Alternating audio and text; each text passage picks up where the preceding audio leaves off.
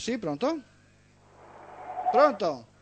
Sì? Eh, senti, eh, niente, volevo dire, eh, per quanto riguarda Gesù di Nazareth, che dicevi che eh, può essere anche lui un assassino, no? mi sembra che però lui non abbia mai parlato di uccidere nessuno. No, eh, Non vorrei avere una, una memoria. Vuoi che te lo corta. dica? Eh, do- Ti do- dico do- dove lo trovi? dove dice così? Sì. Forse nel Vecchio Testamento, No, no, ma no, non nel Luca. Nuovo. Perché forse tu stai confondendo No, eh, se il, concetto, nota- il concetto della filosofia cristiana dall'applicazione diciamo della Chiesa. Allora, sta attento. Io siccome qui non ho una Bibbia, però il passo lo so a memoria, se vuoi prenderti nota e andare a verificartelo. Allora, è Luca, l'episodio delle mine, l'ultima frase, e dice esattamente, ecco, portate i miei, nemici, eh, i miei nemici davanti a me, quelli che non volevano che io dominassi sopra di loro, e sgozzateli in mia presenza, o ammazzateli o scannateli a seconda come vuoi. Ed è in Luca, Va bene, andrò a vedere. va bene? Comunque non si, non si deve confondere quello che ha fatto la Chiesa con quello che è il cristianesimo, diciamo, allo stato puro, ecco, voluto da Gesù Cristo, secondo me. Anche se indubbiamente stai dicendo delle cose molto interessanti. Grazie. Grazie a te. Allora, io capisco benissimo, cioè, io capisco benissimo quelle persone che mi dicono, guarda, che secondo me il Gesù di Nazareth ha detto cose diverse. Io questa, per esempio, quando io dico, eh, leggo per esempio amate i nemici, no? tanti cristiani dicono, guarda che Gesù di Nazareth ha detto di amare i nemici. No, dico io. Se tu leggi attentamente c'è scritto, io dico a voi che mi ascoltate che dovete amare i vostri nemici. Ora, è una piccola sottigliezza, ma se uno dice io dico a voi che mi ascoltate dovete amare i vostri nemici, questo non dice di, che lui deve amare i nemici, ma gli altri devono amare i nemici. Ma se il pastore mi porta al macello, il, ne- il mio nemico è il pastore. Questo deve essere chiaro. Poi riesco a capire benissimo che dice, ma, ma mia avrei preferito che il Gesù di Nazareth dicesse di, ama- eh, di amare i nemici. Ma ricordatevi che i Vangeli sono stati scritti per delle operazioni politiche. Cioè Matteo, Marco, Giovanni e Luca avevano in mente delle operazioni politiche, non è che hanno scritto qualcosa che diceva questo qua che è esistito, questo non è mai esistito. Hanno fatto delle operazioni politiche che dovevano dare delle indicazioni alla setta o al gruppo di sette che stavano costruendo per staccarle dal contesto. Allora cosa dicevano? cosa dicevano? Siccome il caposetta doveva dire a quelli che lo seguivano, voi dovete amare, i vostri nemici. E ognuno interpretava a modo loro. Ma il caposetta, quando lui staccava gli esseri umani dal contesto sociale, aveva un progetto ben preciso, la distruzione del sistema sociale, come dopo è avvenuto. Per cui stiamo attenti anche a dire che la Chiesa Cattolica non ha applicato i principi del cristianesimo. Secondo me la Chiesa Cattolica quando sgozzava, quando ammazzava, quando alzava i roghi, non faceva altro che rispettare i principi del cristianesimo, del suo Dio e del Gesù di Nazareth.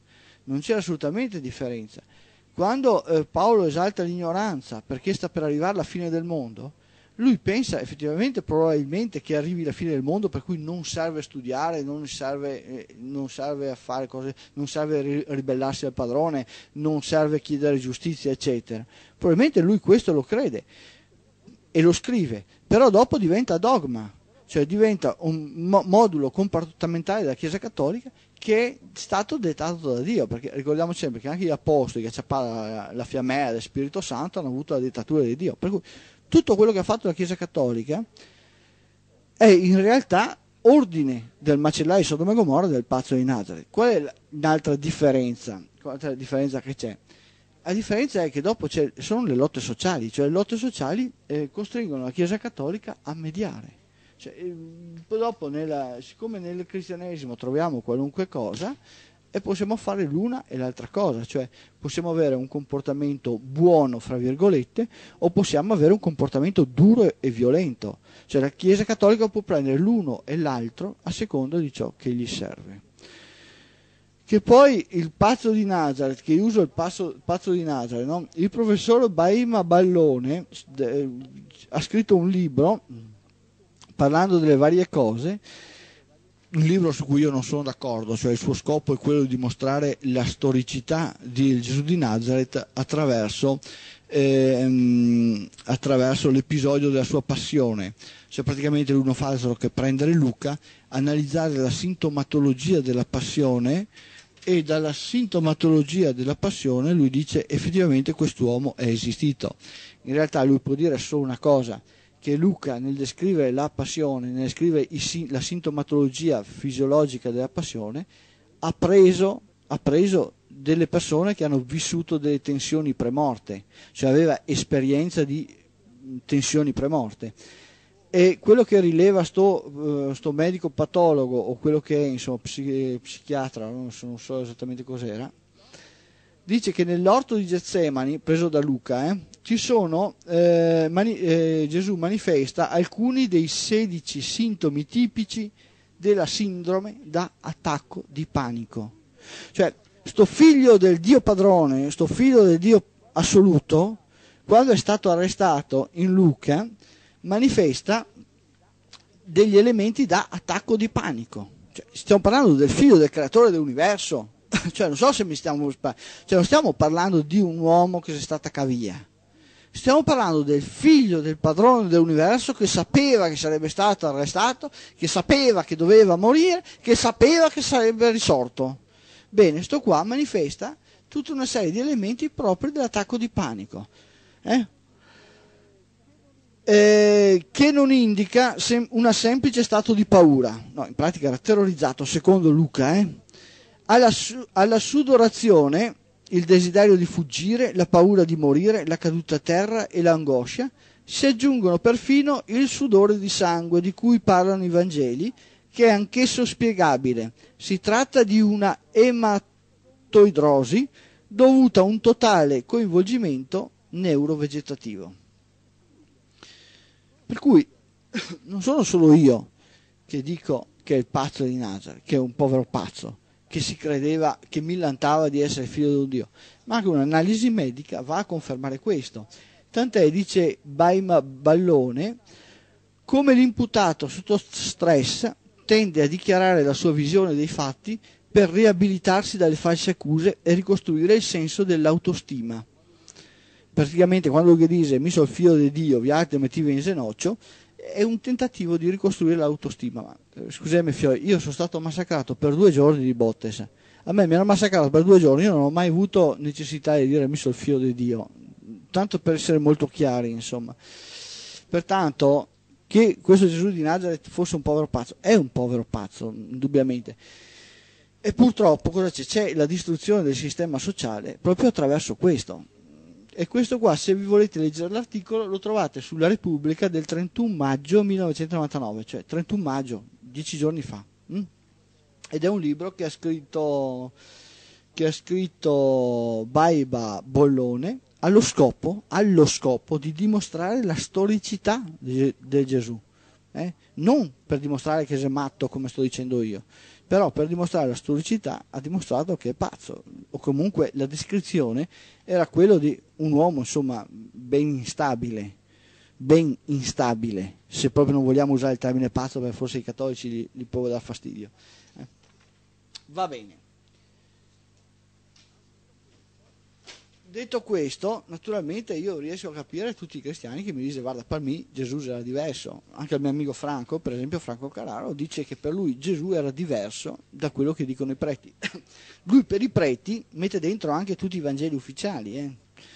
Per cui ogni persona ha il diritto di pensare cose diverse. Quello che una persona non ha il diritto di fare è quello di vendere al sistema sociale delle menzogne. Cioè, questo non c'è un diritto di fare questo. E qual è la menzogna più grande? La menzogna più grande è dire che esista un Dio creatore. Questa è la menzogna più grande in assoluto. Perché? Perché significa togliere all'essere umano, e l'essere umano in particolare, la sua capacità di affrontare la vita, di organizzarsi, di compattarsi, di prendersi in mano la responsabilità della propria vita, di eh, affrontare le contraddizioni, di costruire se stesso. Significa togliere all'essere umano l'immagine che esiste la, che la vita non è altro che un continuo costruirsi, un continuo affrontare le contraddizioni, un continuo compattarsi. Togliere questo significa metterlo in ginocchio, significa trasformare l'energia in vita stagnata, significa distruggerlo. Sì? Sì? Sono ancora Francesco da Bene. Vicenza.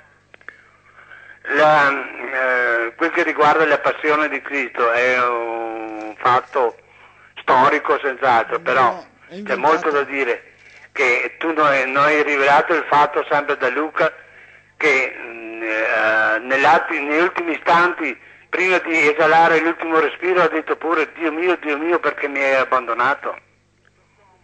Quindi quest'uomo eh, figlio di Dio, voluto fino all'ultimo essere uomo soprattutto per, per, eh, accogliere in sé tutte le sofferenze dell'umanità. Se Quindi ma se anche il sudore di sangue era perché lui si sentiva soprattutto partecipe di questa Francesco, ma se io ti dico umana. che non esiste Dio e che queste sono solo truffe, Può capisci? darsi che- siano truffe, però a modo tuo, a modo di pensare tuo. No, no, io sono andato a vedermene le cose, non sono soltanto andato a pensarle.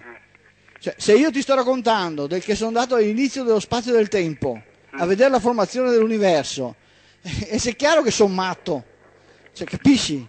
Ma per esempio Ora, anche eh, le, praticamente che le io sono 12 matto. fiammelle de- della serata di Pentecoste in cui i apostoli eh, si pronunciavano in diverse lingue è la manifestazione appunto di, un- di un'entità universale, è la manifestazione appunto de- de- del circuito È una bugia. universale. Ma è una bugia, cioè, Ma non tu è una bugia. Tu non lo hai visto che loro si eh, esprimevano in molte lingue. Io ti posso assicurare che io parlo con delle specie stranissime, ma in un mondo della percezione dove non esiste la parola. Per cui tu puoi anche dirmi che sono matto, capisci? In- Sì, ma in Cristo noi dobbiamo vedere soprattutto un dialogo umano. Lui No. è venuto e sapeva già delle sue sofferenze, perché gli era, gli era apparso subito chiaro che il dialogo Qual umano è la sofferenza che ha avuto quest'uomo? Cioè, la- la- Qual è la sofferenza che ha avuto quest'uomo? Guarda che la sua sofferenza non è stata neanche un millesimo, un millesimo di quello che la Chiesa Cattolica infliggeva negli interrogatori Lo so, lo so. streghe, no, neanche tu un parli, parli millesimo. dell'Inquisizione e prima dell'Inquisizione le persecuzioni, eccetera. Però bisogna andare anche Senti, al contesto di Francesco, quei tempi. io sono stato massacrato di era- botte, io sono stato massacrato di botte per due giorni e non posso neanche dire di essere stato torturato. Questo praticamente non gli hanno fatto niente, sai. Ma questa è la tua superiorità, capisci? Tu devi far leva sulla tua superiorità. No, no, io faccio leva, io faccio leva sugli esseri umani, sulla loro forza di affrontare la vita. Capisci? Cioè, quello che voglio dirti io è che lui non ha avuto nessuna sofferenza, nessuna. Tu? lui ha avuto un processo giusto, cioè da, da quello che si legge sui Vangeli, ha avuto un giusto processo e, e ha avuto la giusta pena. Perché uno che dice sei figlio di Dio o te lo copi o te te metti in zenoccio. Tu difendi i farisei, ma i farisei erano i difensori della legge biblica, erano i tutori delle farisei, bibliche. Come fai a difendere i farisei, i farisei erano-? I farisei si chiamavano i puri. Soltanto in Giovanni diventano a fianco dei, dei- dei- dei paroni e dei, e dei sacerdoti. sì, sì. In realtà era una corrente di pensiero e basta. È, è stato solo Sì, Giovanni ma che- tu addirittura li, li difesi dicendo Tant'è che lui va a che ragione di casa di condannare, di, di, di contrastare così il Cristo, insomma, il Gesù di Nazareth. Lui deve essere annientato perché quell'immagine è un'immagine di morte che ha attraversato la storia. E questo Sì, è la cosa vedi, vedi che anche tu sei radicalista, No, io sono, cioè un eh, parli di eliminazione. io sono un integralista della libertà. Beh, anche Gesù era un integralista della libertà. Come no? Tanto è Allora vero che l'ha confuso tutti i suoi Pizzerotti in un certo tempo. Lui se ne è distanziato con intelligenza e sensibilità, perché lui era un non violento assoluto. Come non violento? E che ne È la caccia- Luca la cacciata dei commercianti al tempio, che cos'è? Non è un atto di violenza? Hai capito? Qua mi sono mille paron, vi altri fuori dai bae. Scusa, non, non è un'infamia Ma questa. un po', ti, Eh? par, ti par giusto che i suoi preti con tutti gli errori siano ancora pedofili? Ma era lui pedofilo, gli ha insegnato lui? Ah, vedi che ti ho sgacciato da questo. Gliel'ha insegnato lui? Proprio lui che ha detto meglio sarebbe se si attaccasse una macchina al collo e si gettasse nel Ma mare. guarda che la frase esatta dice piuttosto che scandalizzate uno di questi piccoli che credono in me, non che li stuprate. Meglio se sta tu vai da quei piccoli, collo, la frase esatta dice che se tu vai dico, da quei piccoli e gli dici ma chi glielo fa fare a te di credere in questo matto, in quel momento lo stai scandalizzando, non se tu lo stupri. È Sì, la certo tua interpretazione chiamato personale matto quella. da te. Eh? Eh, se, se tenta di essere chiamato matto e pazzo di Nazareth da te vuol dire che qualcosa di, di giusto dici anche tu, però tu investi troppo su una figura che per te è No, addirittura deve quasi essere chiamata per ciò che è.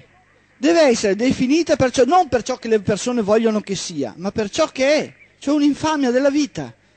Eh, dopodiché tu puoi difenderla sempre, perché se tu hai bisogno di avere questa figura che ti dà dei buoni insegnamenti, tu puoi difenderla, ma non puoi ingannare le persone dicendo che non è ciò che è stata. No, perché ingannando le persone missionario, assumi tu, tutta la tu- responsabilità. c'è, la tendenza a fare un po' il missionario nelle tue trasmissioni.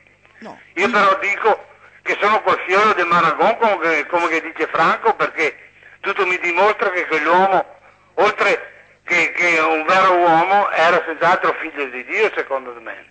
Vedi, tu già ammetti l'esistenza di un Dio padrone, già ammetti che quello... No, no, no, figlio di metto, Dio. no, È chiaro metto il Dio padrone, che il Dio padrone gli ha fatto gli errori delle chiese soprattutto, e dei settarismi vari, dei, dei dialoghi fra sordi dico io, però che oggi la Chiesa Cattolica abbia un'influenza anche molto negativa nel campo politico per le sue menate e falsità e ipocrisie la varie. Chiesa Cattolica ha meno potere perché il potere gli è stato levato via dal- dalle porta- richieste di libertà della gente. non mi porta a oscurare la figura di Gesù. No, Semmai deve mi essere annientata, di più. deve essere annientata pe- e, e messa esattamente là dov'è. Perché Quando lui ha detto parole per la molto dure fede- verso i poteri, anche attraverso la voce di San Paolo. Ha avuto dei momenti durissimi verso tutti i poteri della terra. No, solo perché doveva appropriarsene. Cioè, lui voleva il potere degli Infatti, altri, lui- non perché voleva liberare le persone Lui, dal come che dicono i testimoni di Geova, lui non ha mai fondato un sacerdozio. L'unico sacerdote era Melchisedec, ma perché rappresentava lui stesso praticamente. Francesco, io la tua difesa la capisco, ma la tua difesa non regge due minuti. No, fa conto che difenda un pazzo perché No, tu molto difendi- probabilmente se no, uno tu non proclamasse difendi- oggi quello che proclamava Gesù lo metterebbero come minimo in manicomio. Francesco, tu non difendi un pazzo, difendi il tuo sentire, il tuo credere. Questo difendi, non un pazzo, perché se difendessi un pazzo difenderesti tutti i pazzi.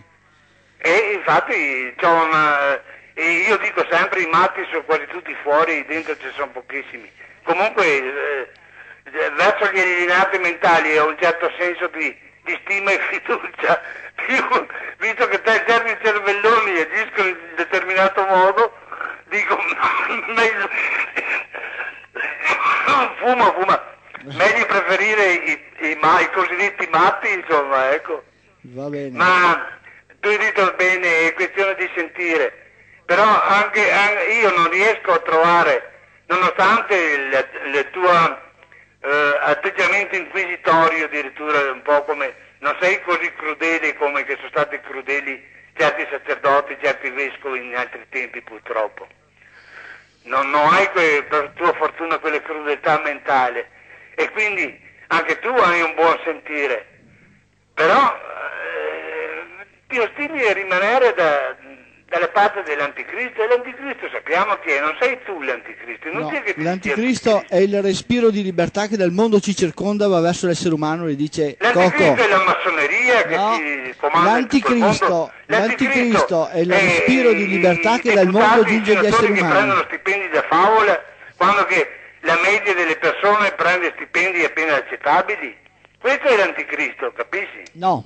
L'anticristo è l'America che, allora, che vuole essere salvatrice del Francesco, mondo. non farmi arrabbiare, eh, non farmi arrabbiare. Tu hai un'immagine, sono affari tuoi. Se vieni da me, a telefoni a me, l'anticristo è quello che dico io. Se poi tu dici che l'anticristo è un'altra cosa, va bene, se quella è la tua idea. Ma se parli con me, siccome io sono un guardiano dell'anticristo, l'anticristo è il respiro di libertà che dal mondo che ci circonda giunge all'essere umano. Questo è l'anticristo. Tutto il resto, eh, cancelliamolo. Questo fa parte della fraseologia del, del modo di dire No, e di no, no, pensare, no, ma, eh, gli dei, gli ma dei del è- mondo che è ci un'idea la circondano. tua. Eh? La tua è una concezione, non è No, no, un'idea. no, una cosa fisica. Non costruisci niente in questo. Tu confermi una concezione che hai de- della, eh, beh, della cristianità, eh, purtroppo ti do atto Vabbè Francesco. che avertela un po' su quella cristianità hai ragione. Francesco, onore delle armi, va bene? Come? Come? Onore delle armi. Eh, ciao e scusa, ciao. Ciao, grazie a te invece. Sei pronto? Sono Simonetta di Rosà. Ciao Simonetta, dimmi. Ciao, senti, tu prima parlavi che sei stato praticamente all'inizio dei tempi, no? Sì? Ecco, a me interessava sapere, mm, tu sei entrato in questa dimensione, cioè ti capita così di punto in bianco durante la giornata? No, bisogna. tramite meditazione? Allora, eh, se tu hai seguito un attimino, ho parlato del crogiolo dello stregone. Eh, no? che non riesco sempre a seguire tutto in... Bene, cioè, nel cioè, crogiolo dello ci arrivi stregone. tramite... Comunque non è importante, ehm, basta, nel crogiolo dello stregone sono, inseg- sono definite, non insegnate, definite tutte le tecniche che si usano per alterare la percezione. Per cui io sono... io preferisco quando tu spieghi le cose che non quando le leggi, perché Ah, sei talmente veloce Eh. che seguirti bisognerebbe essere proprio Ho capito. full, hai capito? Sì, cioè, sì. seguire solo Non ho mai te, ragione, non perdere sai. neanche una virgola. Hai ragione Simonetta. Ecco, Infatti io... preferisco farti la domanda diretta, niente, allora... mm, No, no, ti, ti rispondo... in- Ecco, cioè, cioè arrivi, tra- cioè, hai mai fatto tipo ipnosi regressive? No, e no, no. In questa dimensione ci stai poco, hai bisogno di eh, un ambiente particolare, ci resti No. per un tot di tempo? Cioè, tutte queste nozioni qua, se me le puoi fornire? Sì, sai sì, sì, fornire te le tutto quello fornisco che puoi. subito per radio. D'accordo? Ciao. grazie. Ciao, ciao, ciao. Allora, la percezione alterata. Percezione alterata significa andare fuori di testa. Andare fuori di, di testa significa perdere la cognizione di quello che è il mondo che ci circonda, di come è la descrizione del mondo. Com'è che ottengo io questo? Cioè, andare fuori di testa, eh, ricordatevi che mh, la pratica di andare fuori di testa, alla fine uno va fuori di testa completamente se non ha disciplina sufficiente. L'importante è avere disciplina. Cos'è la disciplina? La disciplina è la capacità di sapere in questo momento io vivo nella descrizione. In questo momento io eh, parlo con voi e vi spiego le cose attraverso le parole. Ma le parole non eh, significano tutto quello che io vorrei dirvi, perché non, non ci sono parole per dirle, però io comunque devo riuscire ad usare una quantità di parole tali per spiegarvi, perché vivo in questo mondo, vivo in un mondo della forma, in un mondo delle parole, in un mondo dei numeri e devo affrontare il mondo in questo modo. Diverso è il mondo della percezione alterata. Cosa significa? Significa che chiudo tutti i sensi, cioè la percezione del mondo che mi sta attorno si chiude e altero la percezione. C'è un solo sistema per alterare la percezione che non sia pericoloso ed è il sognare. Cioè, eh, nel sognare si può fare pratica di sogno, si può riuscire a costringere il sognare per viaggiare.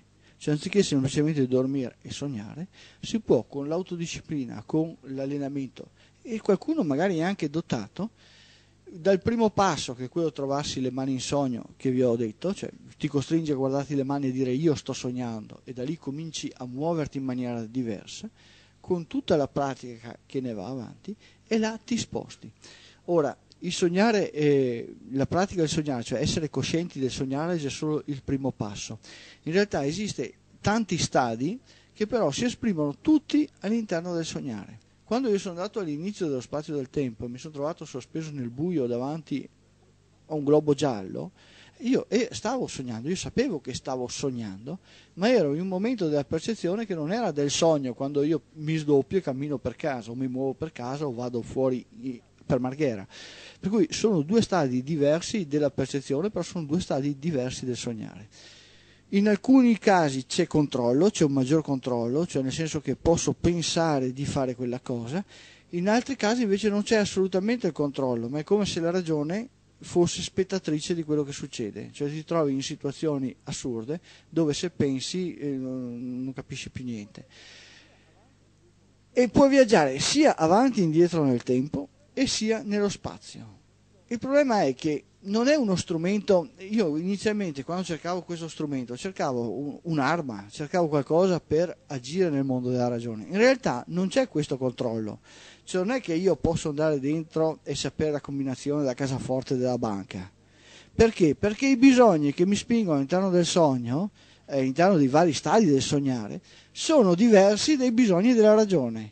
Cioè, mentre adesso mi daria bene di vincere, so, il Super Enalotto e vincere 30 miliardi, quando sto sognando quei bisogni decrescono e ne sorgono degli altri bisogni, sono i bisogni propri del corpo luminoso, bisogni della percezione, bisogno di un io più profondo o diverso, neanche più, diciamo diverso, cioè, per cui si è, eh, lo si usa in maniera diversa, solo che il sognare diventa un, un modo per agire, cioè diventano dei mondi della percezione nei quali si agiscono. Cosa significa questo?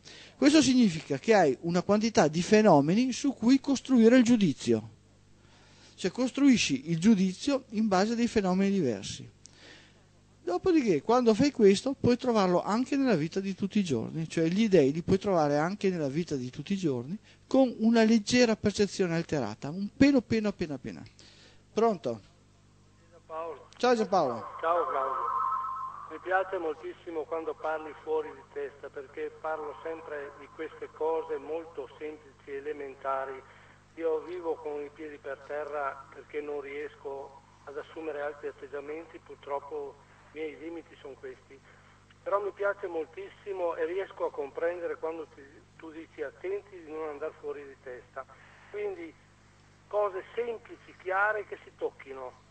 Galileo Galilei volevano bruciarlo perché? Perché era semplice, diceva quando un fenomeno non riesci, hai dei dubbi, ripetilo.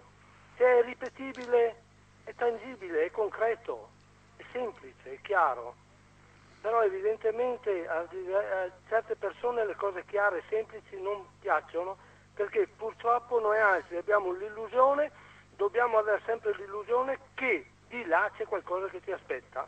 È quello che è, voce del verbo essere, basta. Non altro da dire Claudio, mi okay. piace veramente quando parli di, di, non andare fuori di testa. Grazie Claudio. Ciao, ciao. ciao. E comunque c'è un'altra cosa da dire il pensiero, la vita di tutti i giorni va affrontata per quello che è. Cioè non si può affrontare il sognare, affrontare stadi di percezione alterata se ci si illude che le cose siano diverse da ciò che sono. Cioè un albero è un albero, eh, quello che mangio è quello che mangio, la vita che faccio di tutti i giorni sono la mia capacità di stringere i pugni e i denti nella vita di tutti i giorni. Se io mi metto a pregare aspettando qualcuno, è inutile che io mi metta a praticare sognare o praticare percezione alterata. Avrò al massimo al massimo quel sbuffo di vedere la Madonna e mettere in ginocchio qualcuno. O magari farò come quelle persone che sanno che gli sta per succedere qualcosa, cioè hanno la capacità di percepire un movimento di qualcosa, di qualunque cosa, e anziché dire io ho percepito quel movimento, ho percepito quella cosa, dico è venuto Padre Pio e mi ha detto che tu hai quella malattia, o è venuto Padre Pio e mi ha detto che sono stato bene. Bene, questa necessità di rivestire la propria percezione, la propria capacità di espandersi con un'immagine divina è dovuta al condizionamento educazionale che si ha nella vita di tutti i giorni. Cioè, se io, eh, perché per esempio l'ospedale psichiatrico di Gerusalemme è pieno di musulmani che vedono Maometto, eh, cristiani che vedono Gesù e ebrei che vedono Mosè. Pronto? Sì? Se tu vado aspetto prima parola che ha di pagliasso di un macaco, svegliati a lavorare, va a curi il macaco. Ecco, avete sentito un esempio di dialettica cristiana. Cioè da questo a bruciare le persone non esiste nessuna differenza. Cioè questo personaggio, quello che lui ha espresso in questa trasmissione, è esattamente il suo piacere di bruciare le persone. Sei pronto?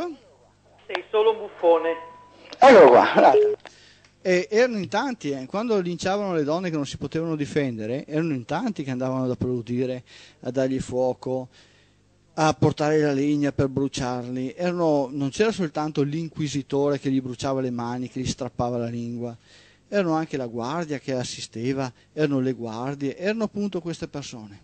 E queste persone hanno bisogno della morte, perché la morte è l'unica condizione a quale possono esistere. Pronto? Pronto Claudio? Ciao, dimmi. Ciao, come stai? Bene, bene. Eh, vorrei sentirti un po', un po' più vicino, ti sento molto lontano. Mi senti lontano? Ecco, ecco adesso ti sento. Ascolta Claudio, nella, nella, trasmissione scorsa ehm, sì, parlavi eh, della, sì, quando parlavi degli oracoli caldaici, no? Sì. A un certo punto tu fai questa, cioè esprimi questo pensiero, la ragione, eh, l'organizzazione sociale, eccetera, è sempre stata donna.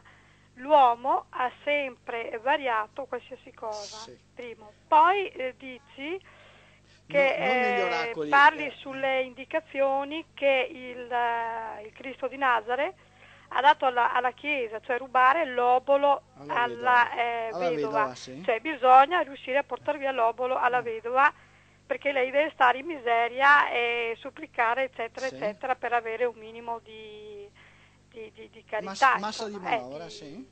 un minimo vitale per, eh, per riuscire a sopravvivere. Ecco, io vorrei per cortesia Claudio, se tu volevi un po' approfondire un po' queste due, chiarire un po' di più questi due, queste due cose che è. Inoltre, guarda, ti sento malissimo, io adesso faccio tutto il discorso, poi metto giù. Va bene. E inoltre complimenti, interessantissima quella, quella risposta eh, delle, delle- delle 19, quella risposta che tu hai dato a, a Luciano, A della Luciano, Guizza, mi sì, pare. sì, sì, sì. Molto molto interessante. Ecco, adesso metto giù e ti ascolto e ti Va ringrazio. bene, grazie a te. Eh, ti- cosa? Subito ti rispondo, eh, subito. Eh, prendo un'altra telefonata e poi chiudo le telefonate. Sì, metto giù. D'accordo, Mm, sì, grazie. ciao. Ciao, ciao. Ciao. Pronto? Pronto? Dimmi. Buongiorno, sono Alessandro. Va bene, dimmi tutto Alessandro, presto però. Sì, io eh, sempre prestissimo.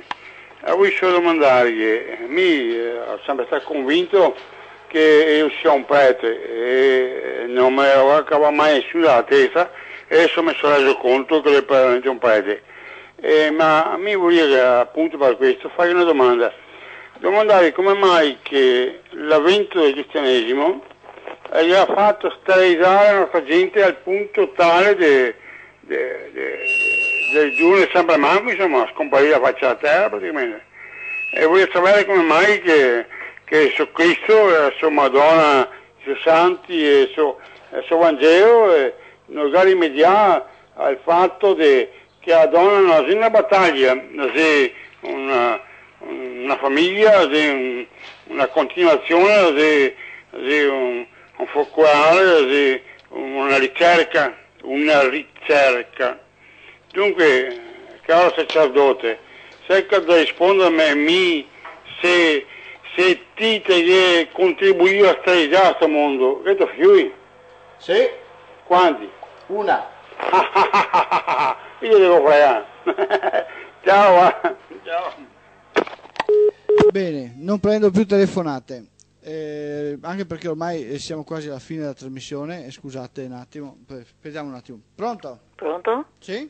Senta, Dica. la settimana scorsa mi aveva fatto vedere dei programmi di guerre a Papa Giovanni, Papa Sì. Buono, che non aveva mai creduto alle stimate di Padre Pio.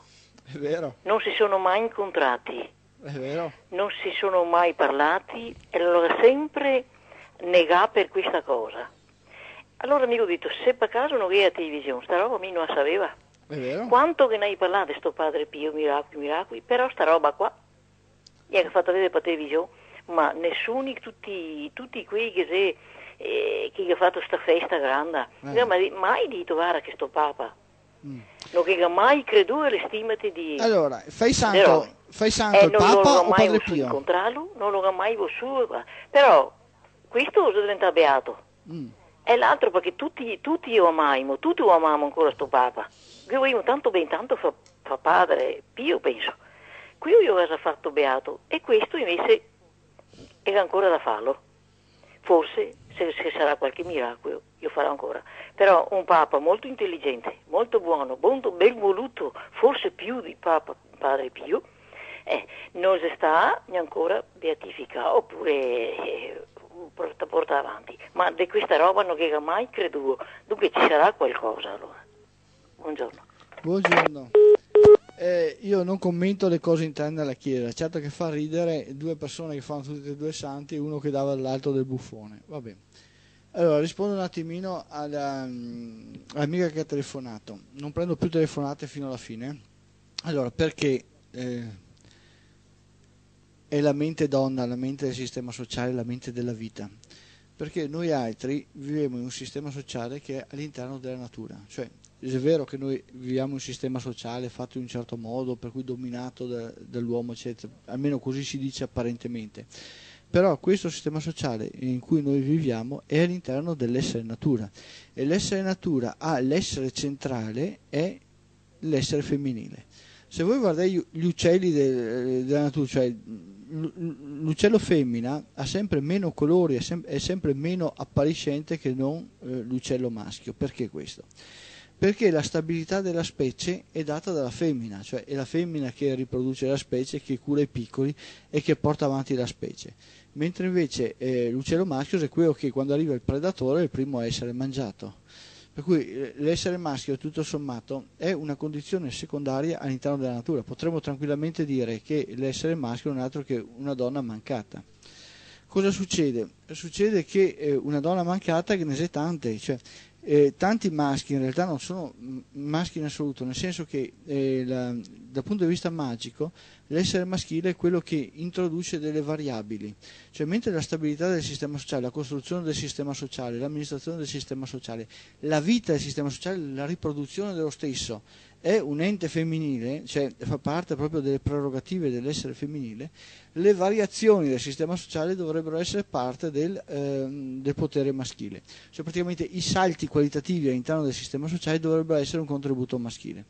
Purtroppo questo non è, perché? Perché il condizionamento educazionale, eh, ricordo che non rispondo più alle telefonate, il condizionamento educazionale ha storpiato in maniera talmente violenta i rapporti all'interno del fra uomo e donna che ha distrutto quelli che sono i comportamenti naturali. Comunque in ogni caso è sempre l'essere umano femminile che è l'elemento che conduce la, la, sopravvivenza che porta avanti la vita, cioè è l'essere umano femminile che si carica i fioi e che scampa, è l'essere umano femminile che quando arriva a guerra cerca di proteggere il futuro, di proteggere i bambini, cioè di solito l'essere umano maschile o scappa o cerca altre robe o va a fare la guerra. Per cui la conservazione di un sistema sociale è quasi sempre demandata alle donne, quasi sempre. E questo perché la donna ha la capacità di costruire il futuro, di vedere il futuro che gli viene incontro. Anche per questo i cattolici che ne aveva paura, perché l'essere umano femminile e gli faceva paura proprio perché aveva la capacità di costruire il sistema sociale, dall'orrore portarlo fuori dall'orrore. La variazione invece, i salti qualitativi, che non sono i salti eh, tipo la, la, lotta sociale, cioè, cioè, mentre le donne che fanno partire la rivoluzione francese in cerca della libertà, l'essere umano maschile aveva il compito di portare dei salti mentali qualitativi diversi. Eh, questo non avviene perché neanche gli esseri umani maschili sanno eh, cosa fare. Troviamo una tradizione del genere nella Vicca, in tutte le tradizioni pagane, dove c'è il, il caprone con le sacerdotesse cioè il caprone varia quello che è la vita, eh, il, il, demonio, il caprone, Daimos, il, il, dio maschio, varia la vita, mentre invece la conservazione della vita la perpetuazione della vita è femminile, per cui la rivoluzione francese è femminile, la rivoluzione bolscevica è femminile, la lotta di classe è femminile, eh, quello che dovrebbe essere stato un ruolo maschile non c'è stato. Eh, mi spiace infatti molto a dirglielo a tanti maschietti, sono comportati molto più da quello che erano femminili, cioè da un cervello femminile che non da quello che è il ruolo maschile. D'altronde il ruolo maschile viene fuori una volta in un secolo, due secoli, insomma, non di più. Per quanto riguarda il cervello, non è il cervello femminile del il cervello di chi ha la figa, eh? O, o, il cervello di chi ha il cazzo, maschile e femminile, in magia si intende un'altra cosa, si intende la capacità di vedere il mondo, no, non, è stessa, non, è avere cazzo e figa, eh? Eh, significa avere una, la conservazione, la riproduzione della natura è una cosa e i salti qualitativi che abbiamo avuto da quando siamo usciti dal brodo primordiale fino ad oggi nel cambiare le condizioni all'interno delle quali progredire, beh, quello dovrebbe essere una prerogativa maschile. Beh, i maschietti hanno molto, molto deluso, in effetti, sì. Per quanto riguarda il, l'ordine di rubare l'obolo alla vedova, è un ordine che si dà a livello di... Ricordo che non prendo telefonate, eh, non prendo più telefonate finché non ho finito, anzi, forse neanche dopo. L'ordine di rubare l'obolo alla vedova è un ordine che è un dogma dottrinale. Se voi vedete anche per la Bosnia, per, cioè no, scusate, per, il, per, per, per la Jugoslavia, no, per i profughi di quella regione jugoslava, adesso non mi ricordo più come si chiama, eh, hanno chiesto le 10.000, le 50.000, le 100.000 lire e hanno raccolto qualche decina di miliardi in un bilancio statale dove ci sono centinaia di miliardi, cioè centinaia di migliaia di miliardi che girano. Cioè questa necessità di eh, manipolare, manipolare l'emotività delle persone dicendo faremo qualcosa per quei poveretti e si inchioda su quella forma l'attenzione delle persone. Importante è costringere il povero a emozionarsi per la miseria dell'altro e costringerlo a rinunciare a una parte dei suoi averi anziché diventare ricco. Cioè fa paura un povero che cerca di diventare ricco che, o che cerca di superare il proprio malessere, la propria miseria, che non un povero, piuttosto un povero che si stia piangendo per gli altri poveri, che magari raccolga l'elemosina per altri poveri. E, ed è un, un, ordine dottrinale che è stato fatto proprio dalla Chiesa Cattolica questo, cioè rubare l'obolo alla vedova. Ehm, è un concetto che fa parte del, degli ordini del pazzo di Nazareth ed è un comportamento dottrinale, cioè chiedere l'elemosina, magari eh, bastonare quello che chiede l'elemosina davanti alla Chiesa perché osa chiedere l'elemosina e sottrarre l'elemosina alla Chiesa, ma eh, costringere il povero a dare i soldi alla Chiesa e lui elemosinare alla Chiesa, cioè diventare dipendente dalla Chiesa, dipendente da un padrone, dipendente da qualcuno. E questa è una struttura dogmatica. Bene. Va bene. Sì, pronto? Pronto? Ok.